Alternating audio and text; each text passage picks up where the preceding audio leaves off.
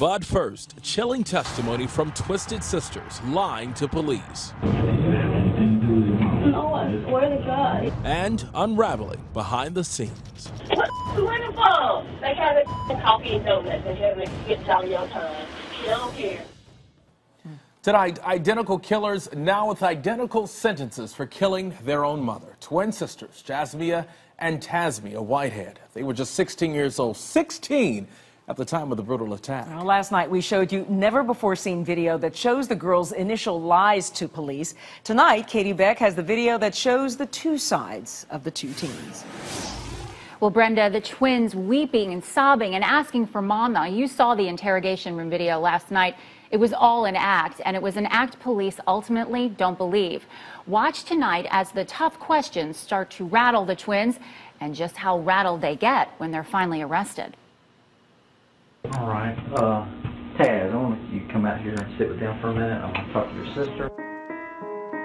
Police start to set their sights on Jasmiyah and Tasmiyah Whitehead as suspects in their mother's murder. It started to become clear that at the very least they were being deceptive. Like when the twins told police how they'd been horrified to find their home covered in blood. Jazz, like, scream or say something. I looked that way, and all I saw was like blood all over the floor. They killed their mother and tried to hide it. There was evidence that they, they tried to clean up and just realized it was just too much. Investigators smelled bleach in the carpet, saw bloody clothes in the wash, and found clothes the twins had thrown away. Is that the clothes you wore to school today? But not the clothes she wore during the murder. Any information you think I might want to know that you haven't told me?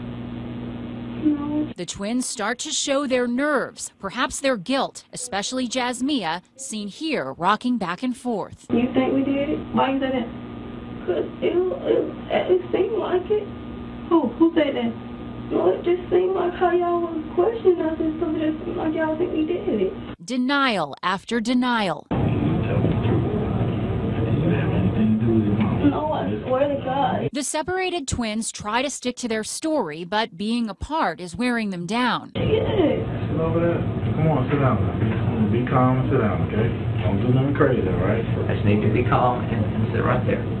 The firmer police get, the more lies the girls tell. Those fresh cuts and bites on both of their hands and arms. They first tell police they got in a fight with each other, then exchange that lie for another. The twins were claiming that the bite marks they, they had on them were self-inflicted, that it's a nervous reaction that they would have. Jazz tries to act out that lie for the cameras as she bites her own hands. Meanwhile, her sister Taz, also aware of the camera, performs another act.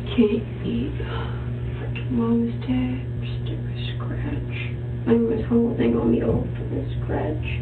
And prays aloud, hoping to catch her mother's killer. Please, God. And I really want them to catch this person. The girls went home with their great grandmother that night. They went to school, had a social life, perhaps started to believe that they'd gotten away with it. But police were watching them all the while and building a case. Nearly four months later, their time was up. Once we got them both arrested, we got the car mic'd up uh, to listen to them in case they'd said something together incriminating. This is an audio recording of the girls talking on the day of their arrest. So fucking them a bite more. And they said they tapped on the on my arm. The twins' tone has changed. I'm not rolling down for something I did not do. Me either. The day you find a murder with my fingerprints on it or something, please do that. Please find a murder with me and then of her. Thank you. The two sweet, victimized twins were long gone. Just the anger coming out in the voice again, um, talking about how terrible our evidence was, how, you know, if you want to charge me, find a murder weapon. What the women? They have a coffee and donuts and have it get all your time. She don't care. Once in police custody and in jumpsuits, Record. Faced with a murder trial, the twins' tone would change again as they finally break down and give their tape confession.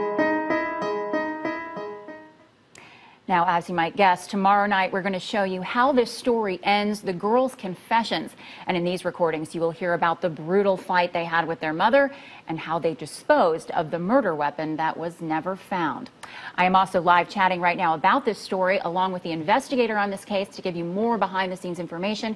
We're going to be online till about 11:30 if you want to join the discussion. Just log on to 11alive.com. It's right on the homepage. Uh, absolutely fascinating. All right, we look forward to part three tomorrow. Brenda. Katie, thank you.